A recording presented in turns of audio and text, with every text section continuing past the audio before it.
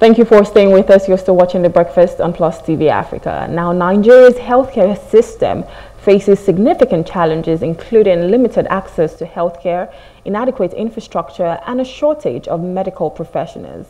Now, leveraging on technology presents a promising pathway to address these issues and to enhance the overall healthcare landscape in Nigeria joining us to discuss the future of healthcare and how tech can address these challenges in Nigeria and Africa is Ifeoluwa Dare-Johnson. She's the CEO of HealthTracka. Good morning, Ifeoluwa. Thank you for joining us. Thank you for having me, Reme. All right. Good morning. Good morning. All right, so we're talking about the healthcare system in Nigeria, and we know that it's not the best. Um, mm. There are people who cannot afford to go to the hospitals. There are people who self-medicate. Um, you know, there are people who cannot just even afford food. Talk more about having to check their bodies. And that's just where we live in currently. That's our current reality in Nigeria. But I want to get your take, especially being in the healthcare system. What has it been for you? How have you been able to, you know, understand what the Nigerian factor can do to people and what you, you know, as a CEO of HealthTracka is doing about it. Thank you for that question, Rome. Yeah. And I'll start with a story. So I got into um, health technology because of a personal experience. Mm. So I got the call about four years ago that my dad passed. Uh, and it was shocking because there was nothing wrong with to, with him at, as long as we were concerned mm. until the doctor told us he's had hypertension and diabetes untreated for so long that it had degenerated into a stroke. Um, so I literally watched someone who seemingly was healthy go, you know, just pass away just like that. And his story is not unique. There are many Nigerians who are walking across, going to work, coming back, and have no idea that they're just one emergency away from death. Hmm. Um, of course, you know the statistics already. Less than 80% of Nigerians are, are insured. Um, and we basically are self-medicating as you mentioned mm-hmm. um, not going to the hospital early enough to get me- early medical diagnosis. And the rise in non-communicable diseases is basically increasing as well. So um, and that was what led me to start HealthTracka. So when we started it was to create a platform that allowed people to access early me- medical diagnostics. Because most of the time especially for non-communicable diseases we can be treated. It can be treated if caught early right? Mm-hmm. So we created a platform called healthtracka.com um, that people could go on that platform from their phones and order lab tests. You could order a full body checkup. Uh, and we even made it more convenient where someone, a professional, can come to your house to take the samples. Uh, and then we were working with labs as well so that they can run those samples and you get your results digitally. Once you get your results digitally, we're offering complimentary doctor's consultation to review your results and then link you to treatment and care we knew that we wanted people to access medical diagnostics and we're leveraging innovation and technology. Mm. Right. So that was the um, idea that we started with. Mm. Um, and with that, we've delivered over 40,000 tests at home. People were going on healthtracka.com to order their sexual health screenings. They were going to order cervical cancer screening. And that has been a unique way for people to access medical screenings mm. um, and get access to early diagnosis. It is important that everyone knows the current status of their health. And the only way to do it is diagnosis. Mm. Exactly. The only way to do it, because if you do not, you know, diagnose yourself or if someone if the doctor a certified doctor doesn't you know diagnose with you with something you don't even know what you're treating but i love the exactly. fact that i love the fact that you know you've started something obviously from a personal experience but then you're doing something for your community but let's bring it back to nigeria because this is just you one person who is championing this cause. What do you think the Nigerian government is doing about this? Because it's definitely a challenge in Nigeria whereby people cannot, you know, they don't even know if they're going to be alive in the next minute. And like you rightly said, you're one emergency away from death. So what do you think the Nigerian government is doing and how can they even help, you know, with the, with the health sector? What are certain things they need to put in place because you are one person there's only so much you can do.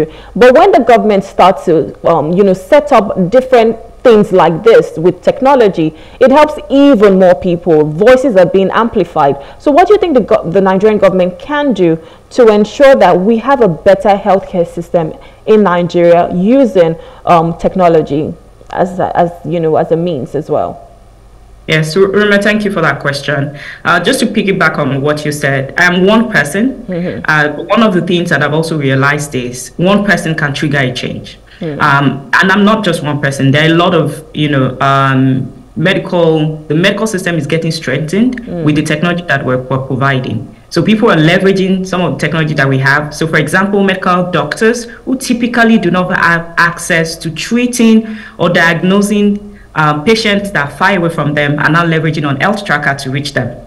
Do you understand? Mm-hmm. Um, and also, one of the things that the government can do, obviously, is ensure that that collaboration between private sector and public sector is strong. Because with the private sector, because we're agile, um, we we have the technology, we're building this technology very fast, we're innovating fast enough, we mm-hmm. can actually collaborate with the government to improve the services um, that had been offered today. Mm. And then the other bit of it would have to be health insurance. Mm. No matter what, uh, no matter how much um, we do and provide all this technology and all these incredible solutions, healthcare solutions, how do people afford it?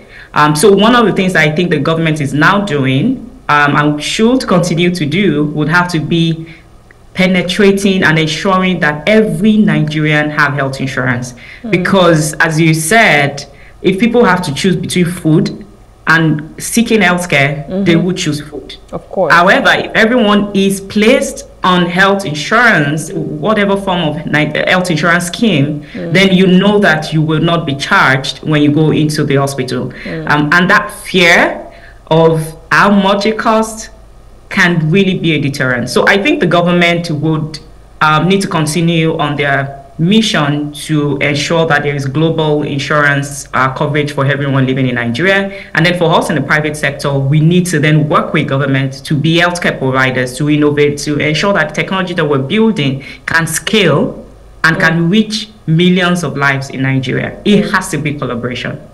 That's fantastic. I, I, always say collaborations are good because um, it's almost like two people with their strengths coming together to form, you know, even a more powerful force. But let me just play devil's advocate a little bit because I mean, we might be talking from a place of privilege. There are people in the rural areas that do not have phones or do not have devices that, you know, would aid technology. So how do you reach out to such people? Because when I hear of your platform and obviously what we're talking about today, you know, is the role of technology. But technology is only for certain people who can afford it. So how about people who cannot, who are probably in the rural areas, the villages? How do they even get these same services without using their phones or laptop or any device that you know requires this form of technology? Rima, you're absolutely co- correct. So at HealthTracka, we have thought about that. Uh, so even when we launched, again, I grew up in a small town in Osun State, in Ilesha. Mm. So the problem I understood it very well because obviously, as I said, I lost my dad who yeah. lived in Ilesha, right? So the biggest problem in that area is definitely just not technology, is the infrastructure mm. available.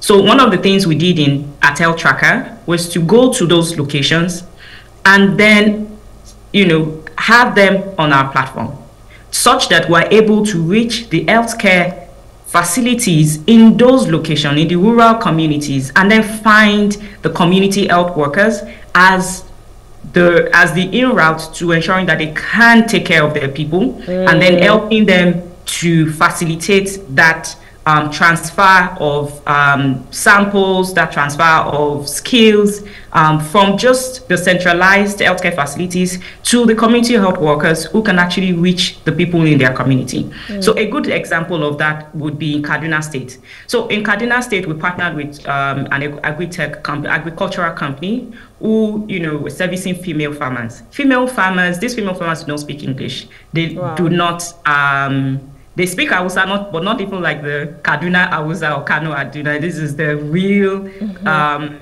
you know, dialect Kaduna. Mm-hmm. And you know, we knew that these women on a normal day would not have access to cervical cancer screenings. Mm-hmm. So we did a pilot project, um, and we went there. You know, we worked with the community um, health workers, and we worked with the healthcare, the primary healthcare centers at that location, um, and then the tertiary tertiary healthcare facilities as well, because we know that if anyone is positive for cervical cancer, we would need to route them uh, for treatment and care at the tertiary hospitals, mm. right? So um, the work we did there was to ensure that all these women, you know, could access cervical cancer screening through our HPV self-sampling kits. So with these kits, even women who are not educated, um, they don't need to even use their phones. The community health workers in that in their vicinity are mm. the ones who then become um, the, the providers the provider for yeah. them, right? Who then use the access they have to um, their phones, to whatever small tab that they have, mm. um, and then work as a as an agent mm. to deliver healthcare to them. Um, so we're constantly looking at the way to uh, at different creative, innovative ways to reach. Uh, people in low income and underserved communities. Another example is um, a recent um, a recent product that we launched. We called it Lola. Lola is an AI uh, chatbot, and we launched it on WhatsApp because we know that in Nigeria, WhatsApp already has over 95% um, penetration. Mm. So most people have WhatsApp on their on their phones, right? Um, so why ask them to download another app? In fact, most people do not even have enough data to, to, download. To yeah they don't yeah. even have enough space on their phones mm-hmm. to um, to keep another mobile app on it. So yeah. we're using WhatsApp to disseminate menstrual health information um, to women that in underserved communities, right? So yeah. all you need to do is just say hi to Lola mm. or say hello to Lola, and now we're even beginning to to ensure that Lola can speak different languages, can speak Yoruba, can speak Hausa, wow. so that when you uh, we want everyone no matter that is your, that is quite um, innovative yeah no matter your socioeconomic state um, mm. status uh, mm. Rume, to actually access healthcare because it is our fundamental right and that's okay. some of the work that we're doing yeah. at Health Tracker. So yeah. we we were a little bit out of time, but I want to talk about data privacy, especially if. I have to download the app or give you all of my information. How am I protected?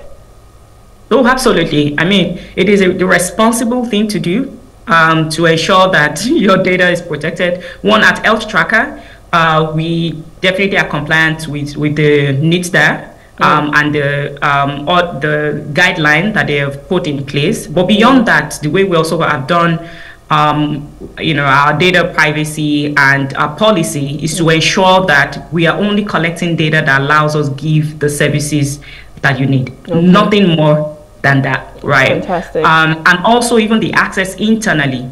Mm. The, the way we, we have done our technology is that it is only open. Um, different aspects of the data is only open to people who to the um, to the healthcare provider who will need the data to deliver the service to you. Mm. Um, but the the, uh, the way we ensure that your data doesn't get leaked, doesn't get um, um, transferred is we ensure that we're compliant mm. uh, to the guideline that has been uh, laid down. But we're very we're a very responsible company at HealthTracka. We truly believe that everyone has the right to um, their data and not to be shared and yeah. to be as responsible as possible uh, with the data that we're collecting, mm. um, especially because the data is just being used to serve our customers, nothing more, nothing less. All right, so final words. How can we improve the healthcare system in Nigeria, you know, even with technology? Any other ideas you might have?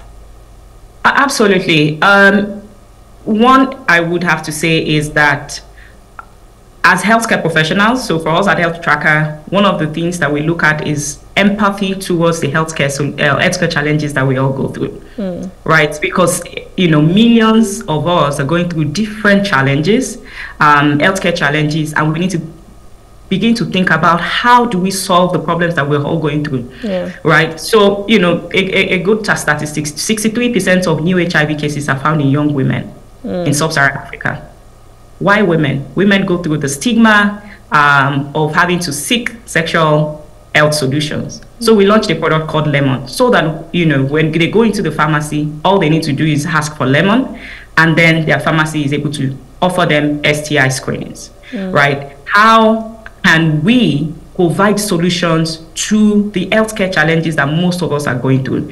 Um, and that's some of the work that we do at HealthTracka. And I think that that's something that we can learn and we can all um, and we can all adopt. So, right. you know, one of the reasons um, um, or rather, one of the solutions as well is for big organizations like Google who support startups, um, is able to use their platform and say, okay, you know what, these solutions that we have, how can young startups who are starting out, who are doing incredible work, how do we support them with our resources right. so that they can reach and scale their solutions to millions of uh, that's people fantastic. in their all right. Exactly. So yeah. that, that's the way I would think about how do we scale? Yeah. Let's leverage our solutions. Let's collaborate. Um, private, public. Um, Everyone, put your hands in the plow, pretty much. Um, exactly. Yeah, exactly. Right. Thank you so yeah, much. Thank you so much, Roman. Thank you. Thank you, Faye. It's been lovely, you know, having a conversation with with you on this, and I just hope that everyone is galvanizing, putting their hands in the plow, and we help, you know, the healthcare sector move it forward. Thank you so much for coming, Ifeoluwa. Thank you so much for